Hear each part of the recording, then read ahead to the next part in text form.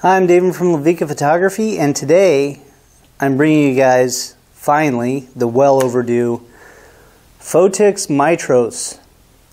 And uh, let me pull this little piece of plastic off the back here. You know, it's a very handy dandy flash. I like it and I don't.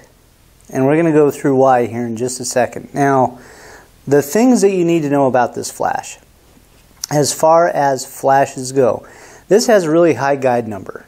That is great. You know, I, you want as much power as you can possibly have, especially when it comes to high-speed sync.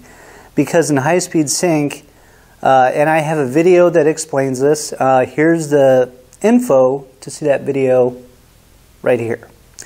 Okay, so uh, the way high-speed sync and a shutter work is it's digital and it blips down. And the reason why we're looking at the Phottix Mitros flash is because of its high-speed sync capability and because of its power.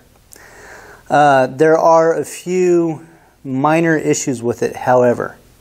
So overall, let's just take a quick look at this. Okay, the mount. You know, the mount is not the most impressive thing on the planet.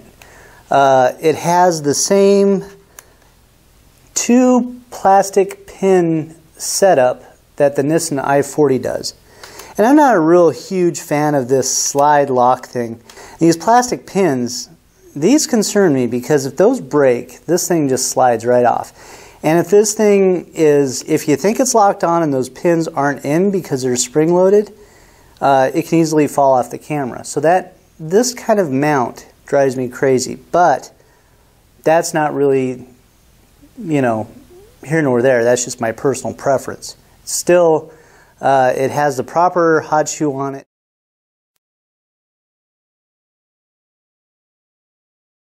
Let's see here. Let's just do a test. We're at three seconds apart doing full power on the Yongnuo. And on this one, at 190 with power all the way up, 1, 1002, 1003, 1000, 1, 1002, 1000. So this one's just slightly slower. I want to say closer to 4 seconds on fresh batteries. Now at half power, the recycle time is a little better.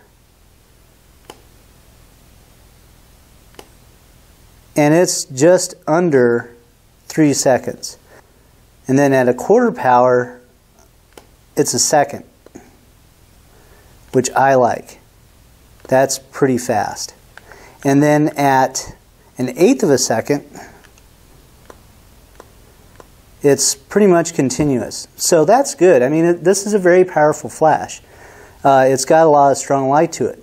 Uh, how easy is the back of this to use? Very easy. I did not need to even look at the manual to be able to go through this. Uh, TTL, uh, manual, and multi. Those are your three settings. Very easy to deal with. This does not have the Phottix Odin transmitter in it. This is just the regular one. Let's see how this thing works and let's see uh, what the zoom quality is like. Okay, everything is set up on the camera and we've got this on high-speed sync and manual. And would it help if I turn that light on so you guys can see? You know, we're at an eighth of a power. We're at 50 millimeter. Now, our lens today is the um, Fotasy uh, CCTV 35 millimeter lens.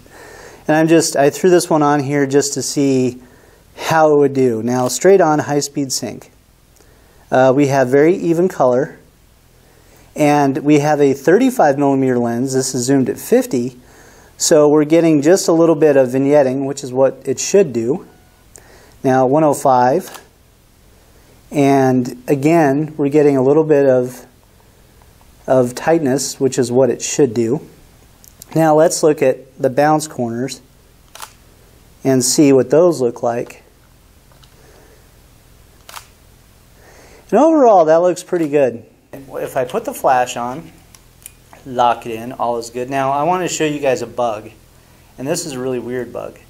So right now I'm at 320th of a second. Normally when you put a flash on here, And I'm not sure if this is Sony or Phottix. I think it's more on the Sony side, but it could be both. Now, a thousandth of a second. And let me see what I got here. We got nothing. So it's not recording in high speed sync, but it's not locking us out either, which is very strange. So what I discovered was if we turn on high speed sync, it's still not coming on. So this is a bug, I believe, with the flash. Okay, now if we go over here and pull this lens off and then stick on an AF lens, now we're not in AF mode, we're still in manual mode, but I'll just focus in here really quick. Now at our thousandth of a second with high speed sync on, guess what? It works.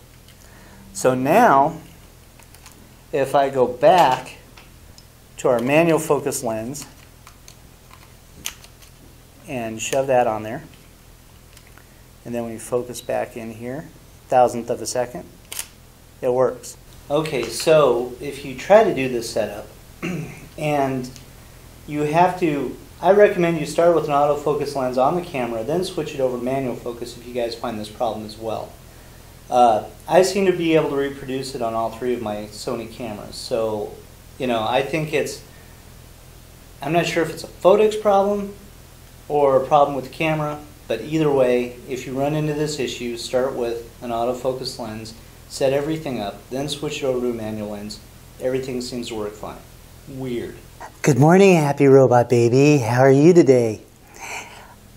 Oh, he's just fine. He's waiting to simulate somebody. He wants to stick tubes in me. Later. I think we'll do that later. Now, one of my favorite flash tests. Uh, some of you, those of you that are subscribed to my channels, that watch my videos regularly, will know that one of my favorite features about the Yongnuo flashes, even though they don't play well with Sony for high-speed sync, uh, the 560s, 2s and 3s, if you have a high-speed sync flash, you can shoot the flash into their optical slave on S1 and they will give you high-speed sync at an angle. Brilliant. Why doesn't everybody do this? So anyway, uh, we're going to go ahead and try the test with this flash. Now with all of our other high-speed syncs uh, flashes in the past, it's worked just fine. So let's see what this does. And I'm going to point the head that way and we're going to zoom this in. So we got to flip up our panel. It is flipped up. And then we're going to zoom all the way to 105. And now we're going to take our high-speed sync shot at 2,000th of a second. Uh-oh. This isn't good. I wonder why it's doing that. Because it's going off. Drop it down to 125. Huh, that's just so bizarre.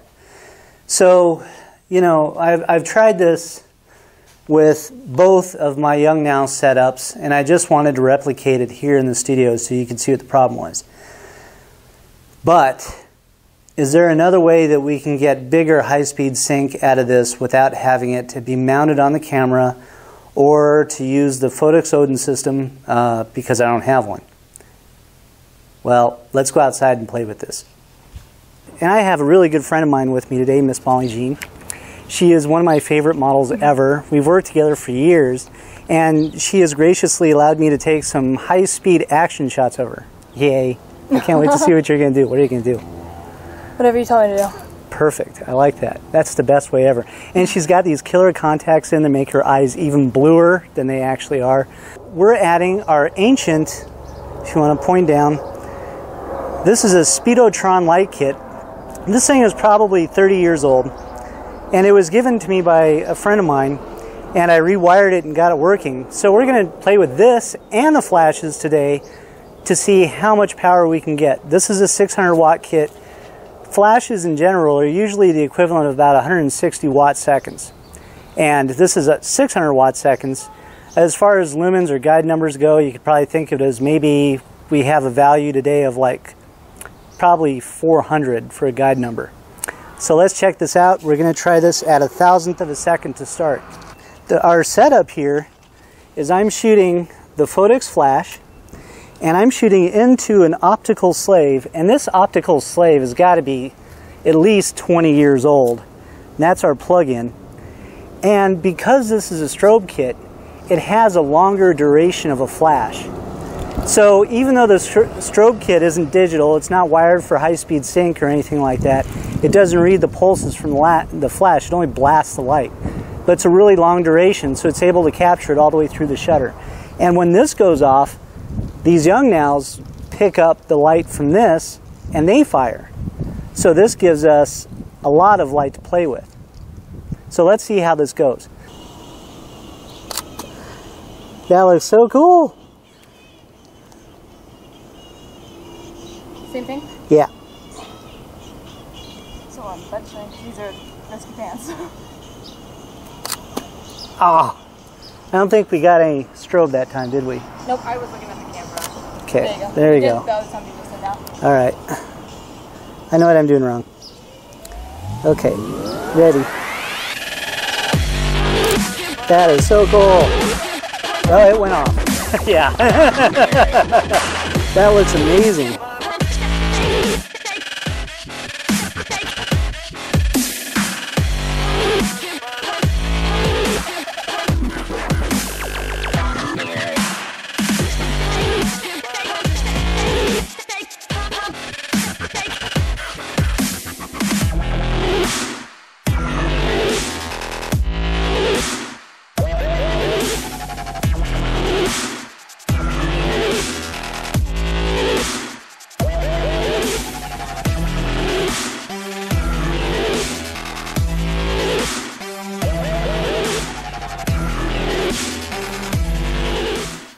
Worked out way better than I thought it would. Um, I was, I'm glad I was able to actually achieve that because the high-speed sync on this flash does not work the same with this flash. It's kind of a bummer.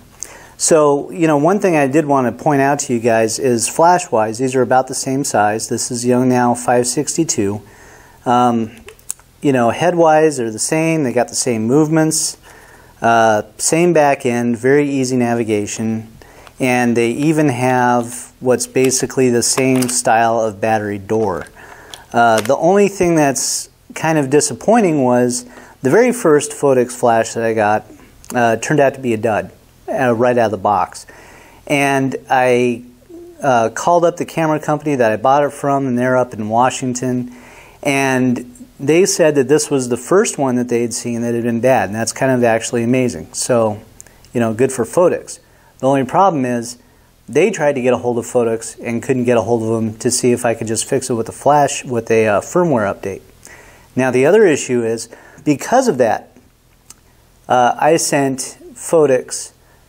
Actually, I sent them six emails, one to sales, one to support from three different accounts over a period of two months, and never got a response. So that kind of makes me wonder how good these guys are. And who's going to uphold that warranty? If the camera company goes out of business, what do you do then? You know, there's nothing that you can really do. And they don't have a, uh, U.S. Uh, distribution center that you can just call. So I'm a little concerned about that as well. The last concern is the price. This does not have the wireless transmitter in it. This was 300 bucks. Is it any better than this one? Well, it does high speed sync. So you're paying uh, essentially $230 more than this flash for high speed sync. So I'll leave that I'll leave that up to you. But overall, I think it's a decent flash. I just don't know if I want to spend that much money for it. So, you know, I'm going to move on to the uh, uh, Nissin Di700 with the Air Commander and see what happens with that when we get one. So I hope you guys like this review. If you do, give me a thumbs up and uh, leave a comment. Click on the ads. It helps me down the road. And uh, otherwise, we'll talk to you guys later. You have a good day.